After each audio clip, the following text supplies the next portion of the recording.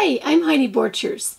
I love jars. As you can see in my studio, I put everything in jars. I love to be able to, to see everything in them and then have the lids on them so they don't get dusty. But what about the times that you really don't want to see what's inside? How about maybe some cotton balls in your in your bathroom or some things? This project is perfect and the technique, it's a Mama Aleene technique. The look is timeless. It's the look of embossing just with glue. Obviously, jars come in all kinds of shapes and sizes, and it's really cool if you can find one that has the square edges because then you can work on each side. But let's say you're going to have a round one, and you can do the same uh, technique. Let me show you the secrets. When you're using a round jar, be sure you put something on the table like craft sticks to keep it from rolling. I'm using the Aleene's original tacky glue in the gold bottle. I like this one the best because when I'm using the glue and it dries, it just holds its shape better. It has a better embossed look. Be sure you put on a nozzle uh, out of tape and that gives you a really fine line. Always test it first and then just start to do your pattern.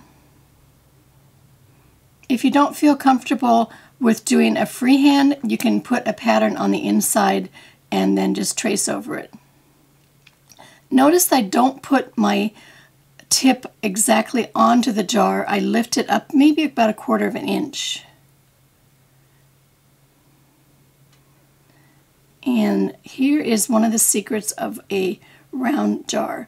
When you do a, a, a flower or just this panel, we're going to take a hair dryer and just put a little bit of heat on it to dry it.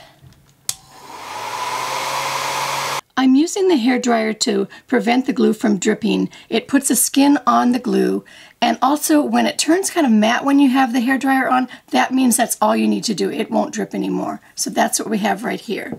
So you just continue to put your design on and you have to do on a round bottle, you have to do just a little bit at a time, like a panel at a time. Let it dry completely until it's clear. Move to the next section.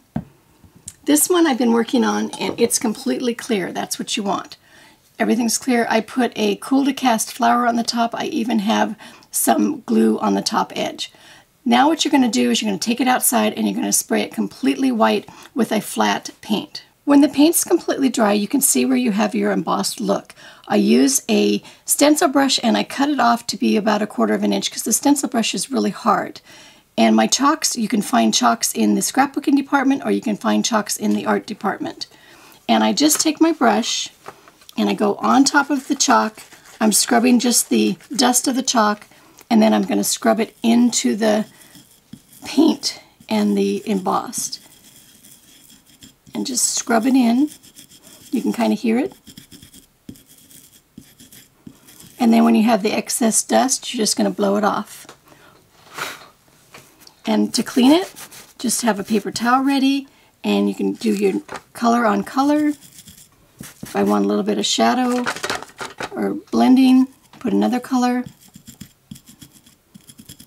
And then again, blow off your dust. And you just continue to do it on all your flowers or any of your shapes and then the background goes in last. Now the final coat would be putting a sealer and I use a matte sealer and be sure that it is compatible with chalk. Don't forget to put your Cool2Craft flower on the top, just glue it on and spray it and then chalk it the same way.